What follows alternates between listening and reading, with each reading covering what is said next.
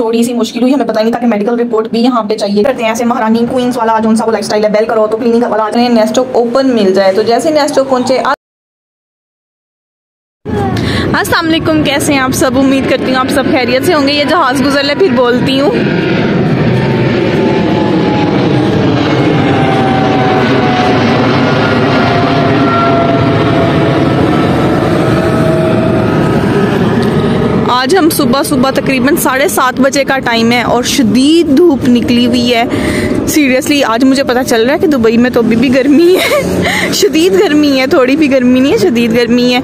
तो खैर मैटर ये था सुबह सुबह उठने की वजह ये थी कि आज है मेरे फिंगरप्रिंट्स उनके लिए मुझे जाना है। तो बस चल पड़े हैं हम अपनी मंजिल की तरफ़। जिस एरिया में हमें ना, वहाँ पे टैक्सी बहुत लेट मिलती है। वैसे तो पूरे दुबई में जल्दी टैक्सी मिल जाती है, लेकिन जिस एरिया में हमें वहाँ पे थोड़ी लेट मिलती है। टूरिस्ट स्पॉट है तो जिनने बुक की होती है, उन्हीं की जल्दी आती है। नहीं तो काफ़ी काफ़ी देर वेट करना पड़ता है। और मेरी टाइमिंग सुबह सवा आठ बजे की थी तो हम लेट होना अफोर्ड नहीं कर सकते थे। वैसे तो कोई मसला नहीं होता, कोई दिक्कत नहीं होती। लेकिन टाइम पर पहुँच जाए तो यही बेटर है। तो अब हम लोगों ने दौड़ लगाई हुई है। वो सामने एक बिल्डिंग नज़र आ रही है ना आपको? उधर जाना है हम लोगों ने और चल रहे हैं और मज़े की बात आपको बताऊँ, मेरे शेड्स घर रह गए हैं और मेरी आँखें धूप में खुल ही नहीं रही। हमें आदत ही नहीं है धूप में फिरने की तो अब फिरना पड़ रहा है। इसको कहते हैं परदेश तो बाकी बातें अब मैं आपसे वहाँ पर पहुँच के करती हूँ। आपको अपना रूट भी दिखाती हूँ। ये मैप लगा हुआ था रोड पे, ये देखें, जहाँ पे लिखा हुआ ना 128 यहाँ से हम लोगों ने चलना शुरू किया था और अब हम 122 पे आ गए हैं। और ये सारे एरियाज़ जो हैं ना ऐसे करीब करीब हैं मतलब वॉकिंग डिस्टेंस पे। थोड़ा ज़्यादा वॉक करना पड़ता है लेकिन आप पहुँच जाते हैं। ये है जी बिल्डिंग हम पहुँच गए हैं इस बिल्डिंग में। पता नहीं अंदर वीडियो बनाते बना सकते हैं या नहीं बना सकते। पहले मेरे साथ ना दो दो बार इस तरह हो चुका है। मैं एयरपोर्ट पे वीडियो बना रही थी तो गार्ड मुझे आके कहता है madam don't do this year means के मैडम यहाँ पे ना करें वीडियो ना बनाएँ। यहाँ से बाहर निकल के वो एक ना ऐसे रैक सा लगा हुआ था, उससे बाहर कह रहा था, वीडियो बना लें, अंदर ना बनाएँ। तो यहाँ पे अंदर पता नहीं बनाने देते हैं कि नहीं तो बहरहाल हम पहुँच तो गए हैं और पहुँचे भी टाइम पे। आप हमारी बहादुरी चेक करें। अभी आठ बजने में पाँच मिनट रहते हैं और हम पहुँच गए हैं। ये है जी सेंटर यहाँ पे भी हम वेटिंग में बैठ के हैं। यहाँ पे उनको मेडिकल रिपोर्ट भी चाहिए थी, जो बाई हैंड हमारे पास नहीं थी, उसका प्रिंट नहीं था। तो मोबाइल में थी तो फिर हम लोगों को यहाँ पे थोड़ी सी मुश्किल हुई। हमें पता ही नहीं था कि मेडिकल रिपोर्ट भी यहाँ पे चाहिए। जब कास की दफ़ा आए थे, तब मेडिकल रिपोर्ट उनने नहीं मांगी थी। लेकिन मेरी दफ़ा उनने मेडिकल रिपोर्ट भी मांगी। फिर हम लोगों को थोड़ी सी परेशानी बनी, लेकिन मेडिकल रिपोर्ट शुक्र अलहमदिल्ला मोबाइल में एटलीस्ट थी।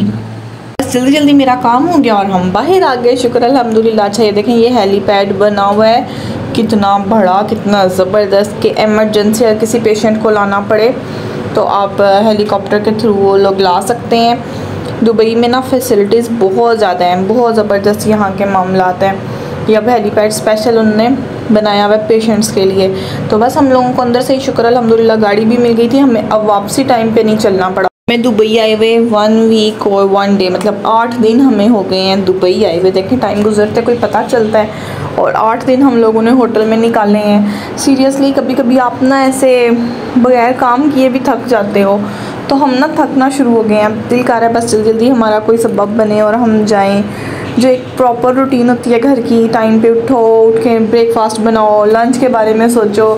हाउस क्लीनिंग करो। हम लेडीज़ के ना, ये समझ लें, खून में रची बसे काम होते हैं। तो जब तक ये काम कर नहीं ना लेते तो ऐसे सुकून नहीं आता। और मैंने तो काफ़ी देर से ऐसी रूटीन नहीं गुजारी। बातें करते करते पाँच मिनट में हम लोग पहुँच गए घर। वापसी पे हम लोग ब्रेकफास्ट भी लेके आए थे। वहाँ पे बैठ के करने की बिल्कुल भी हिम्मत नहीं थी। तो हम लोगों ने कहा, चलो घर ले जाते हैं। असल में हम सारी रात जागते रहे, सारी रात नहीं सोए। तो बस दिल कर रहा था, बस जल्दी जल्दी कुछ खाएँ और सोने की करें। तो पराठे लिए हैं, साथ है गोभी, आलू गोभी का सालन और साथ में दाल का सालन। मेरे पास में ही ना पाकिस्तानी रेस्टोरेंट है जहाँ से आपको पाकिस्तानी फ़ूड मिल जाता है। तो बस वहीं से हम लोगों ने लिया था, ये पराठे का साइज़ चेक करें। कितना बड़ा पराठा है और ये वन दिरम का एक पराठा है। इतना बड़ा। मुझे बड़ा मज़ा आया इतना बड़ा पराठा देख के। बल्कि मैं कासू कह रही थी, आप दो ही ले आते हैं, हमारे लिए दो ही इनफ हो जाने थे।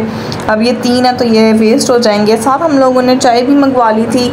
किचन वगैरह तो है नहीं। ज़ाहिर आप होटल में हैं। अच्छा कुछ लोग तो इन्जॉय करते हैं ऐसे महारानी क्वींस वाला जो सा वो लाइफ है। बेल करो तो क्लीनिंग वाला आ जाता है बेल करो तो फ़ूड आ जाता है। कुछ लोग इंजॉय करते हैं, लेकिन मैं उनमें से नहीं हूँ। ब्रेकफास्ट के बाद हम लोग सो गए थे थोड़ी सी वॉक करके उठ के अपना सामान हम लोगों ने सारा सेटल किया।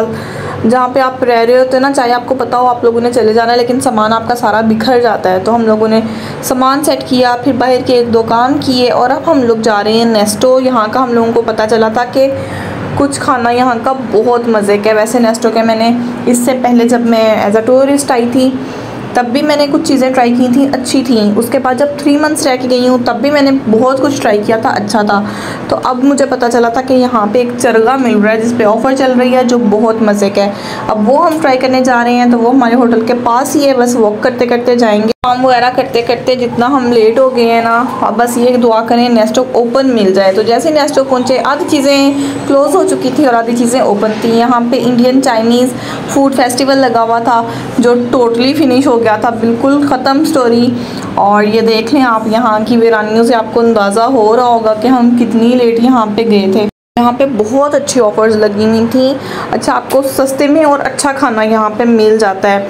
तो ये देखें ऑफ़र्स कितनी ज़बरदस्त हैं। अगर आप लोग दुबई से हैं तो आप ट्राई कर सकते हैं। हम स्पेशल चिकन के लिए गए थे, जिसका हम लोगों ने सुना था कि बहुत मज़े का लास्ट में ट्राई करें तो वो ये टेन पॉइंट नाइन नाइन दिरम में तंदूरी मालाबारी फ्लेवर चिकन में, जो हम ट्राई करने आए हैं। बस कास ने ऑर्डर कर दिया है। ये देखें, ये यहाँ से डिफरेंट डिफरेंट चीज़ें मिलती हैं। अच्छा आप जिस भी नेशनैलिटी के हो ना, आपको यहाँ से आपकी नेशनैलिटी से रिलेटेड कोई ना कोई फ़ूड लाजमी मिल जाएगा।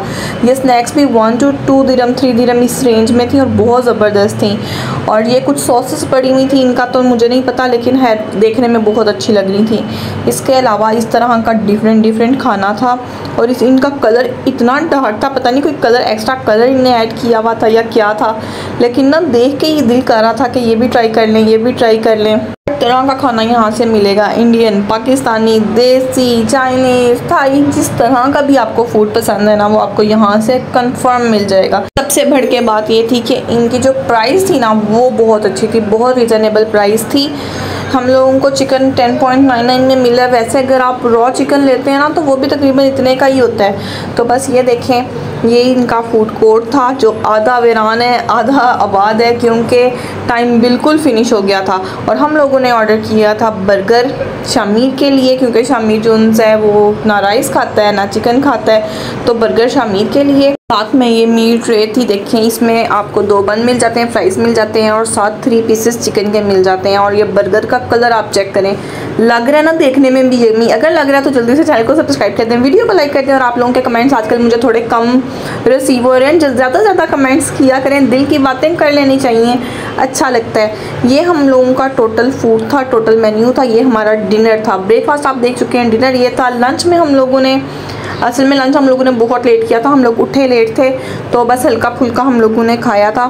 तो वैसे ये डिनर हम लोगों ने सही तरीके से किया। काश ने फ़र्स्ट बाइट पे तो ऐसे जो एक्सप्रेशन दिए, उससे पता चल रहा है कि मज़े का मैंने अभी तक ट्राई नहीं किया, लेकिन मज़े का है? की तबीयत थोड़ी सी गड़बड़ है, बड़ी स्लो मोशन में वो खा रहा था उसको मैंने कहा, सही तरह खाओ। तो उसने देखे किस तरह खाना शुरू कर दिया। बस बच्चे भी ना बात को अपने हिसाब से वो कर लेते हैं। या ज़रूरत से बड़ी बाइट उसने अपने मुँह में ले ली है।